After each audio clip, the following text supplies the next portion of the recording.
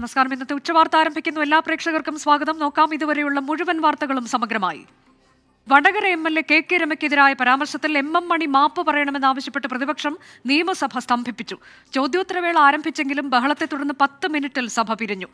കൊന്നിട്ടും C P ഐഎമ്മിന് രമയോടുള്ള പക തീരുന്നില്ലെന്നും T P ചന്ദ്രശേഖരനെ വധിക്കാൻ വിധിച്ച പാർട്ടി കോടതിയുടെ ജഡ്ജി പിണറായി വിജയനായിരുന്നുവെന്നും പ്രതിപക്ഷ നേതാവ് വി ഡി സതീശൻ ആരോപിച്ചു രമയ്ക്കെതിരായ പരാമർശത്തിൽ ഖേദമില്ലെന്ന് എം എം മണി വ്യക്തമാക്കി എം എം മണിയുടെ പരാമർശം സഭാരേഖകളിൽ കിടക്കുന്നത് നിയമസഭയ്ക്ക് അപമാനമാണെന്ന് കെ കെ രമ പ്രതികരിച്ചു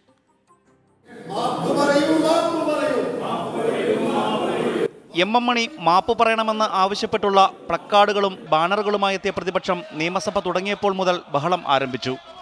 ചോദ്യോത്തരവേളയുമായി സഹകരിക്കണമെന്ന സ്പീക്കറുടെ അഭ്യർത്ഥന കണക്കിലെടുക്കാതെയായിരുന്നു പ്രതിഷേധം മാപ്പ് പറയാതെ വിട്ടുവീഴ്ചയില്ലെന്ന് വി ഡി സതീശൻ പ്രഖ്യാപിച്ചു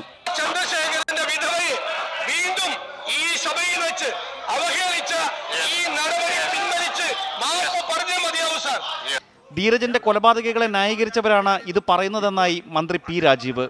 തങ്ങൾ ഉന്നയിക്കുന്നത് സഭയ്ക്കകത്ത് നടന്ന വിഷയമാണെന്ന് വി ഡി സതീശന്റെ മറുപടി അംഗത്തോട് മാപ്പ് പറയണമെന്ന് ആവശ്യപ്പെടാനാവില്ലെന്ന് സ്പീക്കറും വ്യക്തമാക്കി അധിക്ഷേപകരമായിട്ടുള്ള പരാമർശങ്ങളും രേഖയിൽ നിന്ന് നീക്കം ചെയ്യുകയാണ് ചെയ്തിട്ടുള്ളത് അതാണ് നമ്മുടെ സഭയിലെ നടപടിക്രമം മറ്റു കാര്യങ്ങൾ അംഗങ്ങളുടെ കാര്യമാണ് ചേർന്ന് ഇക്കാര്യത്തിൽ ഇടപെടാവുന്ന കാര്യം അതാണ് സ്പീക്കറുടെ ഡയസിന് മുന്നിലെത്തിയ പ്രതിപക്ഷാംഗങ്ങൾ പ്രതിഷേധം ശക്തമാക്കിയതോടെ ചോദ്യോത്തരവേള റദ്ദു ചെയ്തു നടപടിക്രമങ്ങൾ വേഗത്തിൽ പൂർത്തിയാക്കി സഭ പിരിയുകയും ചെയ്തു നിയമസഭാ കവാടത്തിന് മുന്നിലെത്തിയപ്പോഴാണ് ടി പി ചന്ദ്രശേഖരന്റെ വധത്തിന് പിന്നിലെ പാർട്ടി കോടതിയുടെ ജഡ്ജി പിണറായി വിജയനാണെന്ന് വി ഡി സതീശൻ ആരോപിച്ചത് അക്ഷരാർത്ഥത്തിൽ വിധിയാണ് അത് പാർട്ടി കോടതിയുടെ വിധിയായിരുന്നു അതിന് നേതൃത്വം കൊടുത്ത ഒരാൾ ചോരയുടെ കറ ഇപ്പോഴും കൈകളിലുള്ള കേരളത്തിലെ മുഖ്യമന്ത്രി വീണ്ടും കൊന്നിട്ടും പകതിയിരാതെ കെ കെ രമയ്ക്ക് നിയമസഭയിൽ പ്രത്യേക പദവിയൊന്നും ഇല്ലെന്നും പരാമർശത്തിൽ ഖേദമില്ലെന്നും എം എം മണിയുടെ പ്രതികരണം അങ്ങനെ വായി വന്നങ്ങനെ പറഞ്ഞാൽ അത് വലിയ തെറ്റുണ്ടെന്നൊന്നും എനിക്ക് തോന്നിയിട്ടില്ല എവർക്ക് എന്തെങ്കിലും പ്രത്യേക റിസർവേഷൻ്റെ ഒന്നും ഒരു കാര്യവും എന്ന് എനിക്ക് തോന്നിയത് കൊണ്ടാണ് ഞാൻ അതേപ്പറ്റി പ്രതികരിച്ച് കളയാമെന്ന് വെക്കാൻ കാരണമുള്ളതാണ് എം എം മണിയുടെ പരാമർശം ശരിയാണെന്ന നിലപാടാണ് ഭരണപക്ഷത്തിനെന്ന് കെ കെ രമ കുറ്റപ്പെടുത്തി അവർക്ക് ഭയമാണത് കാരണം വെച്ചാൽ അവർ ചെയ്ത തെറ്റ് അവർക്കറിയാം അവർ ചെയ്ത കാര്യം അറിയാം അതുകൊണ്ട് ന്യായീകരിക്കാനുള്ള വെപ്രാളമാണ് പാർട്ടി നടത്തിക്കൊണ്ടിരിക്കുന്നത് എം എം മണി മാപ്പ് പറയാൻ തയ്യാറായില്ലെങ്കിൽ തിങ്കളാഴ്ച വീണ്ടും സഭ സമ്മേളിക്കുമ്പോൾ പ്രതിഷേധം ശക്തമാക്കാനാണ് പ്രതിപക്ഷത്തിന്റെ തീരുമാനം ട്വന്റി തിരുവനന്തപുരം കെ കെ രമയ്ക്കെതിരെ മുൻമന്ത്രി എം എം മണി നിയമസഭയിൽ നടത്തിയ അധിക്ഷേപ പരാമർശത്തിൽ എം എം മണിക്കെതിരെ രൂക്ഷ വിമർശനവുമായി C P I M M മണിയുടെ പ്രസ്താവന അങ്ങേയറ്റം അപലപനീയമാണെന്നും പ്രസ്താവന പിൻവലിച്ചാൽ അത് കമ്മ്യൂണിസ്റ്റ് നടപടിയാകുമെന്നും സി പി ഐ ദേശീയ നേതാവ് ആനി രാജ പ്രതികരിച്ചു ഒഴിവാക്കേണ്ട പരാമർശമെന്നായിരുന്നു ബിനോയ് വിശ്വത്തിന്റെ പ്രതികരണം പരാമർശം ശരിക്കും പറയാൻ പാടില്ലാത്തതായിരുന്നുവെന്ന് സഭ നിയന്ത്രിച്ച C P I M L A E K Vijayan ഇന്നലെ പ്രതിപക്ഷ പ്രതിഷേധത്തിനിടെ സ്പീക്കറുടെ സെക്രട്ടറിയോട് പറഞ്ഞിരുന്നു വിധി വിധവ വിവാദ പരാമർശത്തിൽ എം എം മണിയെ സി പി ഐ എം സംരക്ഷിച്ചു പിടിക്കുമ്പോൾ സി പി ഐ പ്രത്യക്ഷമായി തന്നെ എതിർക്കുന്നു സി പി ഐയുടെ രണ്ടു ദേശീയ നേതാക്കൾ തന്നെ പ്രത്യക്ഷ വിമർശനവുമായി ഇന്ന് രംഗത്തെത്തി പരാമർശം അപലപനീയമെന്ന് കുറ്റപ്പെടുത്തിയ ആനി രാജ എം എം മണിയെ നിയന്ത്രിക്കണമോ എന്ന് സി പി എം തീരുമാനിക്കണമെന്ന് പ്രതികരിച്ചു അങ്ങേയറ്റം അപലപനീയമായിട്ടുള്ള ഒരു കാര്യമാണ് ഇത്തരം കാര്യങ്ങൾ ഇടതുപക്ഷത്തിൻ്റെയും അതുപോലെ തന്നെ കമ്മ്യൂണിസ്റ്റുകാരുടെയും ഭാഗത്തുനിന്ന് ഉണ്ടാകാൻ പാടില്ലാത്തതാണ് അതാണ് സംഭവിച്ചിരിക്കുന്നത് അത് തീർച്ചയായിട്ടും ഒഴിവാക്കപ്പെടേണ്ട ഒന്നായിരുന്നു എം എം മണിക്ക് ദുരുദ്ദേശമുണ്ടെന്ന് കരുതുന്നില്ലെന്ന് പറയുമ്പോഴും പരാമർശം ഒഴിവാക്കേണ്ടതായിരുന്നു എന്ന നിലപാടിലാണ് ബിനോയ് വിഷവും മണിയാശാൻ എന്തെങ്കിലും ദുരുദ്ദേശം വെച്ചുകൊണ്ടായിരിക്കില്ല അത് പറഞ്ഞു തന്നാണ് ഇതുപോലൊരു സന്ദർഭത്തിൽ ആ പദപ്രയോഗം ഒഴിവാക്കേണ്ടതായിരുന്നു എന്നാണ് എൻ്റെ അഭിപ്രായം അതിനിടെ വിവാദം നടക്കുമ്പോൾ നിയമസഭ നിയന്ത്രിച്ച ഇ കെ വിജയൻ സ്പീക്കറുടെ സെക്രട്ടറിയോട് നടത്തിയ ചില സംഭാഷണങ്ങളും ഇന്ന് ചർച്ചയായി ശരിക്കും പറയാൻ പാടില്ലാത്തത് എന്നായിരുന്നു ഇ കെ വിജയൻ പ്രതിപക്ഷ ബഹളത്തിനിടെ സ്പീക്കറുടെ സെക്രട്ടറിയോട് പറഞ്ഞത്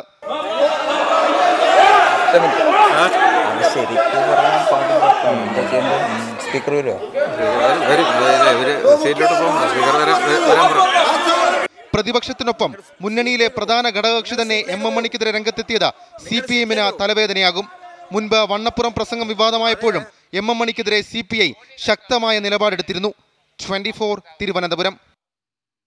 ടി പി ചന്ദ്രശേഖരൻ വധക്കേസിൽ വൻ സ്രാവുകൾ രക്ഷപ്പെട്ടെന്ന് മുല്ലപ്പള്ളി രാമചന്ദ്രൻ വൻ സ്രാവുകളെ പിടിച്ചിരുന്നെങ്കിൽ രാഷ്ട്രീയ കൊലപാതകങ്ങൾ ആവർത്തിക്കുമായിരുന്നില്ലെന്നും മുല്ലപ്പള്ളി പറഞ്ഞു ചന്ദ്രശേഖരനെ കൊന്നിട്ടും സി പി എമ്മിന്റെ പക തീരുന്നില്ലെന്നും A I C C general secretary K C Venugopal പറഞ്ഞു എം എം മണിയുടെ പ്രസംഗത്തെ മുഖ്യമന്ത്രി ന്യായീകരിച്ചത് ഞെട്ടിപ്പിക്കുന്നതാണെന്നും കെ സി വേണുഗോപാൽ പറഞ്ഞു പേ പിടിച്ച അടിമക്കൂട്ടത്തെ ചുറ്റും നിർത്തി പ്രവർത്തിക്കുന്ന രാഷ്ട്രീയക്കാരനാണ് മുഖ്യമന്ത്രിയെന്ന് കെ സുധാകരനും പ്രതികരിച്ചു മാലിന്യ ജൽപ്പനമാണ് എം എം മണി ദിവസവും നടത്തിക്കൊണ്ടിരിക്കുന്നതെന്ന് ബി ജെ പി സംസ്ഥാന അധ്യക്ഷൻ കെ സുരേന്ദ്രനും പറഞ്ഞു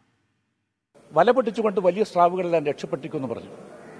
അന്ന് ആ സ്രാവുകളെ പിടികൂടിയിരുന്നുവെങ്കിൽ കേരള രാഷ്ട്രീയത്തിൽ ഒരിക്കലും രാഷ്ട്രീയ കൊലപാതകങ്ങൾ പിന്നീട് ഉണ്ടാവുകയില്ല എന്ന് ഞാൻ വിശ്വസിക്കുന്നു കമ്മ്യൂണിസ്റ്റ് പാർട്ടിയിലെ അപജയങ്ങളെയും കൊള്ളരുതായ്മകളെയും എതിർത്തതിൻ്റെ പേരിൽ അതിഭീകരമായി വേട്ടയാടപ്പെടുകയും കൊല ചെയ്യപ്പെടുകയും ചെയ്ത ചന്ദ്രശേഖരൻ കൊന്നിട്ടും ഇവരുടെ പക തീർന്നില്ല എന്ന് പറയുന്നത് ഏറ്റവും സങ്കടകരമായിട്ടുള്ള കാര്യമാണ് എനിക്ക് അതിന് ഏറ്റവും അത്ഭുതം തോന്നിയത് രമയെക്കുറിച്ച് പ്രസംഗിച്ചതിനേക്കാൾ കുറേ ആ പ്രസംഗത്തെ ന്യായീകരിച്ചുകൊണ്ട് കേരളത്തിൻ്റെ മുഖ്യമന്ത്രി നടത്തിയ പ്രസംഗമാണ് എം എം മണിയെ പോലുള്ള സാധനങ്ങൾ ഈ നാട്ടിൽ നടത്തിക്കൊണ്ടിരിക്കുന്ന മലിനീകരണം മാലിന്യ ജൽപ്പനമാണ് നടത്തിക്കൊണ്ടിരിക്കുന്നത് പ്രതാപ് പോത്തന് വിട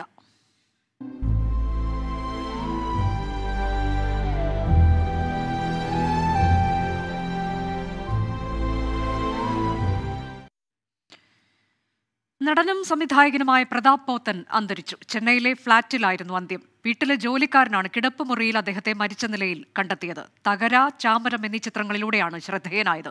ആരവം എന്ന ചിത്രത്തിലൂടെയായിരുന്നു അരങ്ങേറ്റം തിരുവനന്തപുരം കുളത്തുങ്കൽ കുടുംബാംഗമാണ് പ്രതാപ് പോത്തൻ മരണത്തിൽ മുഖ്യമന്ത്രി അനുശോചനം അറിയിച്ചു സംസ്കാരം നാളെ രാവിലെ പത്തിന് ചെന്നൈ ന്യൂ ആവഡി ശ്മശാനത്തിൽ നടക്കും പ്രതാപോത്തൻ വിടവാങ്ങുമ്പോൾ നഷ്ടമാകുന്നത് ചലച്ചിത്രത്തിന്റെ സമസ്ത മേഖലയിലും സജീവമായിരുന്ന ബഹുമുഖ പ്രതിഭയെയാണ് വിവിധ ഭാഷകളിലായി നൂറിലേറെ ചിത്രങ്ങളിൽ അഭിനയിച്ച പ്രതാപോത്തൻ വേറിട്ട അഭിനയ ശൈലിയിലൂടെ പ്രേക്ഷകരുടെ ഹൃദയത്തിൽ ഇടം നേടി ഇനിയ നിലാവേ പൊൻ നിലവിൽ ആയിരത്തി തൊള്ളായിരത്തി എഴുപത്തി എട്ടിൽ പുറത്തിറങ്ങിയ ഭരതൻ ചിത്രം ആരവത്തിലൂടെയാണ് പ്രതാപ് പുത്തന്റെ സിനിമയിലെ അരങ്ങേറ്റം തകരയിലൂടെ മലയാളത്തിൽ ശ്രദ്ധേയനായി ആശാരി എനിക്ക് നീലക്കല്ലുകൾ എടുക്കാൻ തരുമല്ലോ തരും തരും സുഭാഷിണി ഒരൊറ്റ ദിവസം ഇട്ടുകൊണ്ട് നടക്കാൻ തരും എൺപതുകളിൽ മലയാളം തമിഴ് സിനിമകളിൽ സജീവമായി ചാമരം നവംബറിന്റെ നഷ്ടം അഴിയാത കോലങ്ങൾ നെഞ്ചത്തൈക്കില്ലാതെ തുടങ്ങി നിരവധി ശ്രദ്ധേയ ചിത്രങ്ങളിൽ വേഷമിട്ടു പനീർ പുഷ്പങ്ങൾ വരുമയിൻ നിറം ചുവപ്പ് എന്നീ ചിത്രങ്ങളിലെ അഭിനയം തമിഴിലും പ്രതാപനെ പ്രശസ്തനാക്കി കെ ബാലചന്ദർ സംവിധാനം ചെയ്ത വരുമയിൻ നിറം ശിവപ്പ് എന്ന ചിത്രത്തിലെ കഥാപാത്രം ഏറെ പ്രേക്ഷക ശ്രദ്ധ നേടി തടപ്പുറത്തേക്ക് തെരുവുകയാറില്ല இப்பவே உன்னை கல்யாணம் பண்ணிக்க தயார் முதலாளிங்கிற காரணத்துக்காக என்ன நீ வெறுக்கிறதா இருந்தா இந்த சொத்து சுகத்தை எல்லாம் தூக்கி எறிஞ்சிட்டு மெக்கானிக்காக வர்றேன் இட்ஸ் அ ப்ராமிஸ் ஒரு ഒരിടവേളയ്ക്കു ശേഷം വീണ്ടും മലയാളത്തിലെത്തിയപ്പോൾ ട്വന്റി ടു ഫീമെയിൽ കോട്ടയം എന്ന ചിത്രത്തിലൂടെ വില്ലൻ വേഷത്തിലെത്തി തന്മാത്ര ഇടുക്കി ഗോൾഡ് തുടങ്ങി നിരവധി ചിത്രങ്ങളിൽ വേഷമിട്ടു മലയാളം തമിഴ് തെലുഗ് ഹിന്ദി ഭാഷകളിലായി നൂറിലേറെ ചിത്രങ്ങൾ ഒരു യാത്രാമൊഴി ഡേസി ഋതുഭേദം തുടങ്ങി മലയാളത്തിലും തമിഴിലും തെലുങ്കിലുമായി പന്ത്രണ്ട് സിനിമകൾ സംവിധാനം ചെയ്തു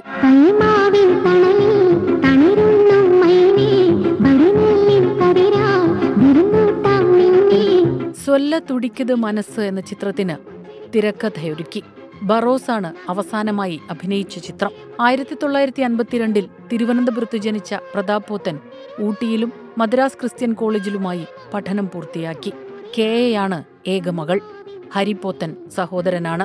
അഭിനയത്തിലും എഴുത്തിലും സജീവമാകുമ്പോഴും ആ ചലച്ചിത്രയാത്രയിൽ തുടർച്ചയായ ഇടവേളകളുണ്ടായി മലയാളിക്ക് മറക്കാനാകാത്ത നിരവധി കഥാപാത്രങ്ങളെ സമ്മാനിച്ചാണ് പ്രതാപ് ഭൂതൻ വിടവാങ്ങിയത് വീണ്ടും ചലച്ചിത്രരംഗത്ത് സജീവമാകുമ്പോഴാണ് അപ്രതീക്ഷിതമായ വിയോഗം മലയാളിക്ക് മറക്കാനാകാത്ത നിരവധി കഥാപാത്രങ്ങളെ സമ്മാനിച്ചാണ് പ്രതാപ് പോത്തൻ വിടവാങ്ങിയത് തുള്ളിമഞ്ഞിനുള്ളിൽ തുള്ളിയുറങ്ങി ഡെസ്ക്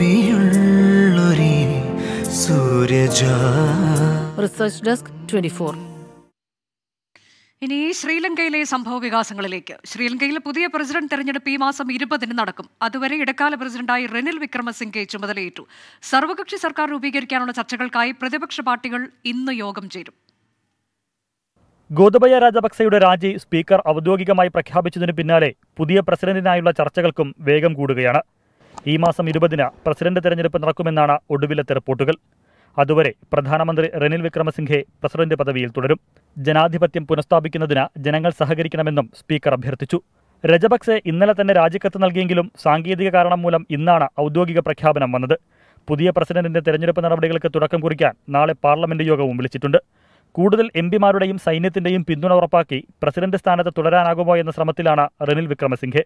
എന്നാൽ അദ്ദേഹത്തെ മറയാക്കി രജപക്സയ്ക്ക് പിന്നിൽ നിന്ന് പ്രവർത്തിക്കാൻ അവസരം നൽകില്ലെന്ന ഉറച്ച നിലപാടിലാണ് പ്രതിപക്ഷ കക്ഷികൾ സർവകക്ഷി സർക്കാർ രൂപീകരിക്കണമെന്ന ആവശ്യത്തിലാണ് പ്രതിപക്ഷ പാർട്ടികൾ തുടർ നീക്കം ചർച്ച ചെയ്യാൻ ഇന്ന് പ്രതിപക്ഷ പാർട്ടികൾ യോഗം ചേരുന്നുണ്ട് പ്രതിപക്ഷ നേതാവ് സജിത് പ്രേമദാസയെയാണ് പ്രസിഡന്റ് സ്ഥാനത്തേക്ക് പ്രതിപക്ഷ പാർട്ടികൾ നിർദ്ദേശിക്കുന്നത് ചീഫ് മാർഷൽ ശരത് ഫോൺസേഖയും മത്സരസന്നദ്ധനായി രംഗത്തുണ്ട് ഗോ ഗോട്ട ഹോം എന്നുള്ളതായിരുന്നു ഇന്നലെ വരെ പ്രക്ഷോഭകാരികളുടെ മുദ്രാവാക്യം എന്നാൽ ഇന്ന് ആ മുദ്രാവാക്യം മാറിയിരിക്കുകയാണ് ഗോ റെനിൽ ഹോം എന്നുള്ളതാണ് പുതിയ മുദ്രാവാക്യം റെനിൽ ക്രമസിംഹയും രാജിവെക്കണമെന്നുള്ളതാണ് പ്രധാനപ്പെട്ട ആവശ്യം എനിക്ക് പിന്നിൽ കാണുന്ന ഈ പ്രസിഡന്റ് ഓഫീസ് ഇപ്പോഴും പ്രക്ഷോഭകാരികളുടെ പൂർണ്ണ നിയന്ത്രണത്തിലാണ് റെനിൽ വിക്രമസിംഘ കൂടി രാജിവെച്ചാൽ മാത്രമേ ഈ ഓഫീസ് വിട്ടുകൊടുക്കൂ എന്നുള്ള കടുത്ത നിലപാടിലാണ് പ്രക്ഷോഭകാരികൾ കൊളംബോയിൽ നിന്നും യൂസഫിനൊപ്പം അൽ അമീൻ ട്വൻറ്റി മൺസൂൺ സമ്മേളനം മുതൽ പാർലമെന്റ് വളപ്പിൽ പ്രതിഷേധങ്ങൾക്ക് വിലക്ക് സെക്രട്ടറി ജനറൽ ഇക്കാര്യം നിർദ്ദേശിച്ച് ഉത്തരവ് പുറപ്പെടുവിച്ചു എന്നാൽ ജനാധിപത്യ മാർഗത്തിലുള്ള പ്രതിഷേധങ്ങളെ ഇല്ലാതാക്കാനുള്ള സർക്കാർ ശ്രമത്തെ ശക്തമായി എതിർക്കുമെന്ന് കോൺഗ്രസ് ഉൾപ്പെടെയുള്ള പ്രതിപക്ഷ പാർട്ടികൾ വ്യക്തമാക്കി പാർലമെന്റ് സമ്മേളനകാലത്ത് പ്രതിപക്ഷാംഗങ്ങൾ പ്രതിഷേധം സംഘടിപ്പിക്കുന്നത് പാർലമെന്റ് വളപ്പിലാണ് ഗാന്ധി പ്രതിമയ്ക്ക് മുന്നിൽ ധർണയും സത്യാഗ്രഹവും ഉപവാസവും നടക്കും വിവിധ വിഷയങ്ങളിൽ സർക്കാരിന്റെ ശ്രദ്ധ ക്ഷണിക്കാനും പ്രതിഷേധമറിയിക്കാനുമാണ് ഇങ്ങനെ ശ്രമിക്കുന്നത് മാധ്യമങ്ങളും ഗാന്ധി പ്രതിമയ്ക്ക് മുന്നിലെ പ്രതിഷേധ പരിപാടികൾക്ക് വലിയ പ്രാധാന്യം നൽകാറുണ്ട് മൺസൂൺ സമ്മേളനം മുതൽ ഈ പതിവ് വേണ്ടെന്നാണ് സെക്രട്ടറി ജനറലിന്റെ നിർദ്ദേശം മറ്റെവിടെയാണ് പ്രതിഷേധം സംഘടിപ്പിക്കേണ്ടതെന്ന് പുതിയ ഉത്തരവ് വ്യക്തമാക്കുന്നുമില്ല കഴിഞ്ഞ സമ്മേളന കാലത്ത് സഭകളിൽ നിന്ന് സസ്പെൻഡ് ചെയ്യപ്പെട്ട അംഗങ്ങൾ സമരം നടത്തിയത് ഗാന്ധി പ്രതിമയ്ക്ക് സമീപത്താണ് ഈ ഘട്ടത്തിൽ നടപടി നേരിട്ട് എം അവിടെ നിന്നുള്ള പ്രതിഷേധം അവസാനിപ്പിക്കണമെന്ന് അഭ്യർത്ഥിച്ചെങ്കിലും വഴങ്ങിയില്ല വിജയ് ചൌക്കിൽ നിന്ന് പാർലമെന്റിലേക്കുള്ള കോൺഗ്രസ് അംഗങ്ങളുടെ മാർച്ച് സംഘർഷത്തിൽ കലാശിക്കുകയും ചെയ്തു എം പിമാരടക്കം സഭാധ്യക്ഷന്മാർക്ക് കയ്യേറ്റത്തിന് വിധേയരായെന്ന പരാതിയാണ് നൽകിയത് സോണിയാഗാന്ധിക്കും രാഹുൽ ഗാന്ധിക്കുമെതിരായ ഇ ഡി നടപടിയിൽ ഈ സമ്മേളനകാലത്ത് ശക്തമായ പ്രതിഷേധം കോൺഗ്രസ് സംഘടിപ്പിക്കും ഇതുകൂടി മുന്നിൽ കണ്ടാണ് പുതിയ നിർദ്ദേശം സെക്രട്ടറി ജനറലിന്റെ ഉത്തരവിനെ എന്നാൽ പ്രതിപക്ഷ പാർട്ടികൾ തള്ളിക്കളഞ്ഞു ജനാധിപത്യ സംവിധാനത്തിൽ പ്രതിഷേധിക്കാനുള്ള ജനപ്രതിനിധികളുടെ അവകാശത്തെ തടയാൻ സാധിക്കില്ലെന്ന് കോൺഗ്രസും സി പി എമ്മും എൻ സി പിയും തൃണമൂൽ കോൺഗ്രസും വ്യക്തമാക്കി ആർ രാധാകൃഷ്ണൻ ട്വന്റി ഡൽഹി വേണം ജാഗ്രത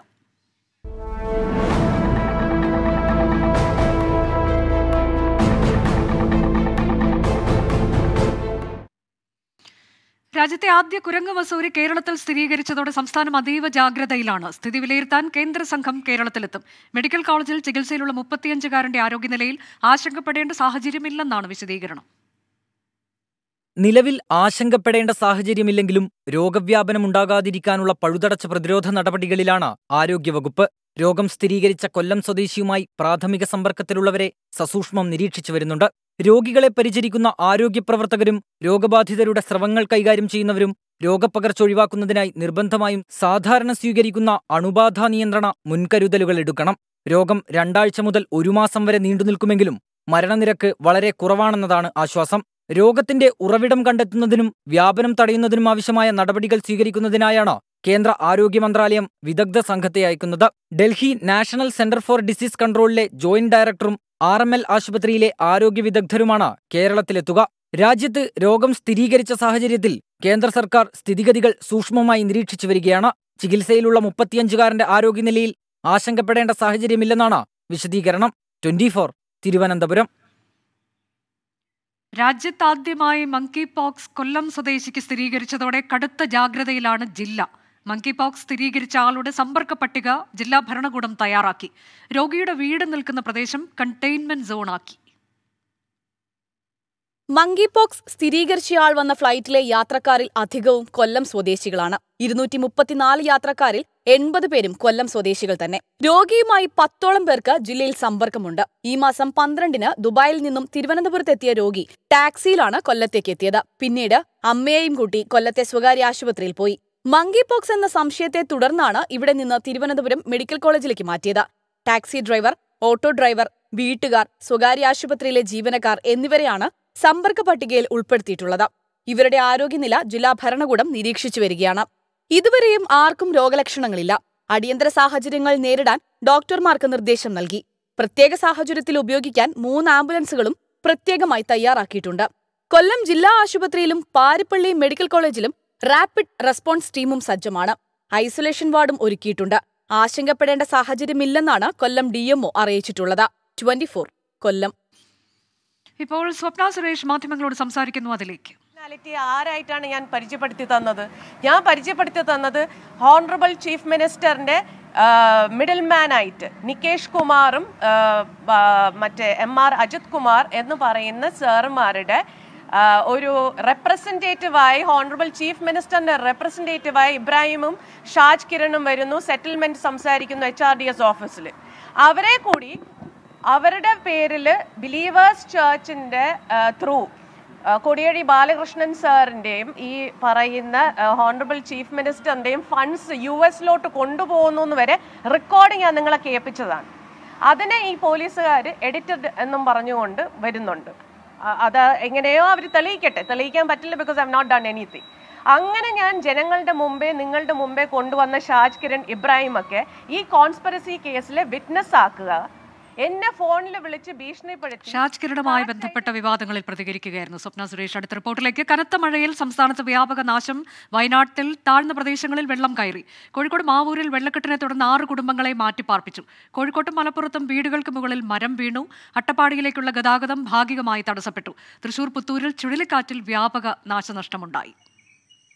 കനത്ത മഴയിൽ വ്യാപക നാശനഷ്ടങ്ങളാണ് സംസ്ഥാനത്തുണ്ടായത് വയനാട് ചുരത്തിന് താഴെ അടിവാരത്ത് പാലത്തിലും കടകളിലും വീടുകളിലും വെള്ളം കയറി പുതുപ്പാടി പഞ്ചായത്തിലെ പ്രൈമറി സ്കൂളുകൾക്ക് എ ഇഒ e അവധി പ്രഖ്യാപിച്ചു കോഴിക്കോട് കക്കയം ഡാമിന്റെ ഷട്ടറുകൾ കൂടുതൽ ഉയർത്തി മാവൂരിൽ വെള്ളപ്പൊക്കത്തെ തുടർന്ന് ആറ് കുടുംബങ്ങളെ മാറ്റിപ്പാർപ്പിച്ചു മാവൂരിലും വടകരയിലും വീടുകൾക്ക് മുകളിൽ മരം വീണു ശക്തമായ കാറ്റിലും മഴയിലും നിരവധി വീടുകൾ ഭാഗികമായി തകർന്നു വെള്ളയിൽ ഹാർബറിനോട് ചേർന്ന് കടലിൽ ചുഴലിക്കാറ്റ് വീശി നാല് ബോട്ടുകൾക്ക് കേടുപാടുകൾ സംഭവിച്ചു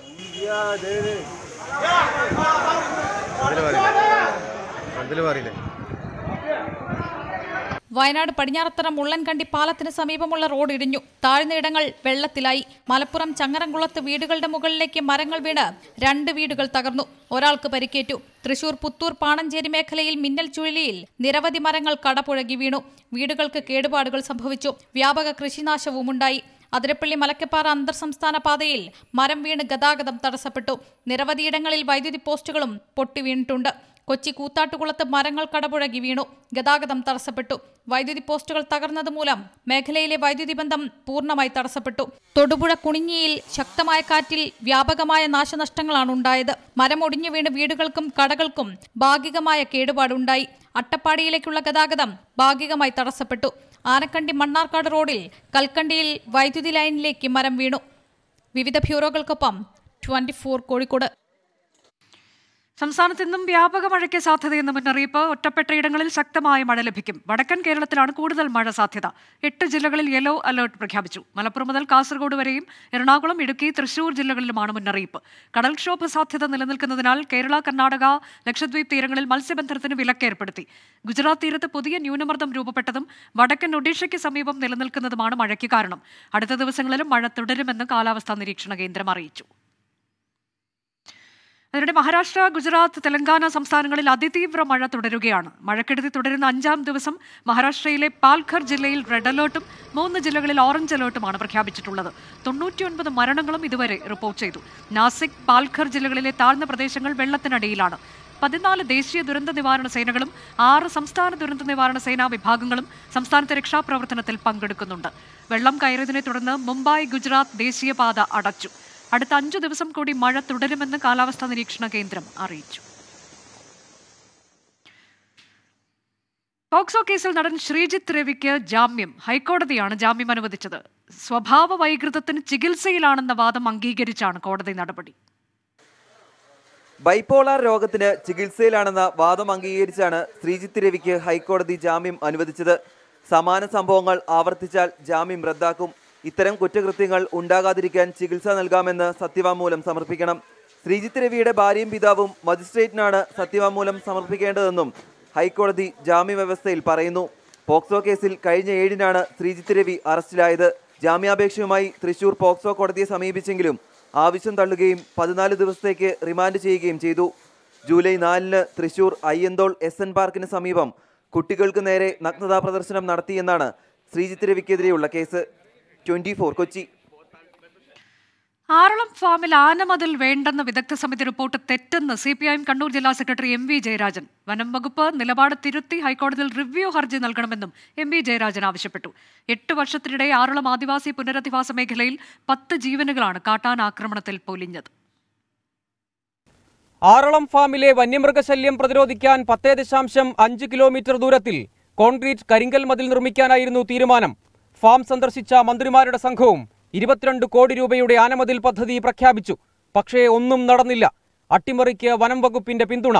സർക്കാർ നിയോഗിച്ച വിദഗ്ധ സമിതി ആനമതിൽ വേണ്ടെന്ന റിപ്പോർട്ടും നൽകി ഈ റിപ്പോർട്ട് അംഗീകരിച്ച ഹൈക്കോടതി സൗരോർജ്ജ വേലി മതിയെന്ന് ഉത്തരവിട്ടു വിദഗ്ധ സമിതി റിപ്പോർട്ടിനെതിരെ C P I M Kannur ജില്ലാ സെക്രട്ടറി എം വി ജയരാജൻ അതിൽ രൂപീകരിച്ച വിദഗ്ധ സമിതി വ്യത്യസ്തമായിട്ടുള്ള ഒരു സമീപനം സ്വീകരിച്ചു ആ സമയം അവർ സ്വീകരിക്കാൻ പാടില്ലായിരുന്നു കണ്ണൂർ ജില്ലയിൽ എട്ടു വർഷത്തിനിടെ വന്യജീവികൾ കവർന്നത് പതിനേഴ് മനുഷ്യജീവനുകൾ കാട്ടാനയാക്രമണത്തിൽ ജീവൻ നഷ്ടമായത് പതിനാല് പേർക്ക് ആറളം ഫാമിൽ മാത്രം കാട്ടാനയാക്രമണത്തിൽ പേരാണ് കൊല്ലപ്പെട്ടത് ഏറ്റവും ഒടുവിൽ കഴിഞ്ഞ ദിവസം ഏഴാം ബ്ലോക്കിലെ പി ഐ ദാമുവും കാട്ടാനയാക്രമണത്തിൽ കൊല്ലപ്പെട്ടു ജീവന് സുരക്ഷയില്ലെന്ന് ആറളം ആദിവാസി പുനരധിവാസ മേഖലയിലെ ജനങ്ങൾ ഈ ഫാമിൻ്റെ ഉള്ളിലാണുള്ള കാട്ടിലല്ല കാട്ടിലും കരുവെന്നാണ് നമുക്ക് കാണാം ഇതിനകത്തുനിന്ന് പുറകെടുക്കാനോ എന്തെങ്കിലും ആവശ്യത്തിന് പുറകോട്ട് പുറത്തേക്ക് മാറും അതിനതല്ലേ സംഭവിക്കുന്നത്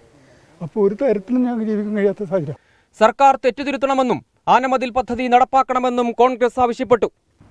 ഇനിയും എത്ര രക്തസാക്ഷികൾ വേണം ആറളം ആദിവാസി പുനരധിവാസ മേഖലയിലെ ജനങ്ങളുടെ സുരക്ഷയുറപ്പാക്കാൻ ആനമതിൽ പദ്ധതി അട്ടിമറിച്ചവരെ സർക്കാർ തിരുത്തണം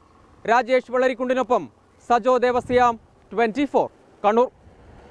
മരിച്ചയാൾ നാല് വർഷത്തിനു ശേഷം നൽകിയ അപേക്ഷയിന്മേൽ കെട്ടിടം തരം മാറ്റി നൽകി കൊച്ചി നഗരസഭ നഗരസഭയിലെ നാൽപ്പത്തിനാലാം ഡിവിഷനായ കാരണക്കോടം പൈപ്പ് ലൈനിലാണ് റെസിഡൻഷ്യൽ കെട്ടിടം കമേഴ്ഷ്യൽ വിഭാഗത്തിലേക്ക് തരം മാറ്റിയത് മരിച്ചയാളിന്റെ പേരിൽ നേരിയ തരം മാറ്റം വരുത്തി നൽകിയ വ്യാജ അപേക്ഷ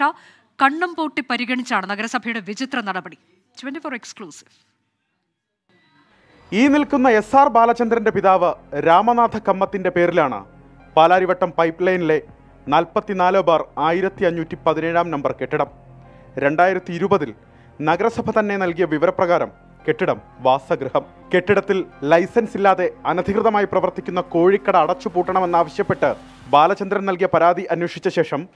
റെസിഡൻഷ്യൽ കെട്ടിടത്തിൽ പ്രവർത്തിക്കുന്ന കട ഒരാഴ്ചക്കകം അടച്ചുപൂട്ടി വിവരം രേഖാമൂലം അറിയിക്കാൻ